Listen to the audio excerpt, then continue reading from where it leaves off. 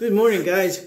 All right, so uh, it's about 20 after 9 on February 21, 2022. Um, I didn't do any push-ups over the weekend. Just is what it is. Uh, today shouldn't be anybody here because they told me they were going to be off on the holiday, which is President's Day. Uh, so I'm going to try and do as many as I can today-ish in between editing and other uh, non-work work that I have. Anyway, so here we go.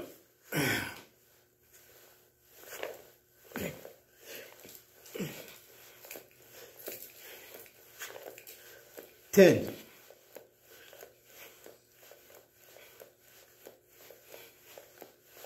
Twenty. Twenty-two.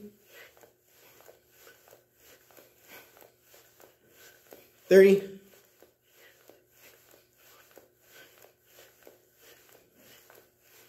40.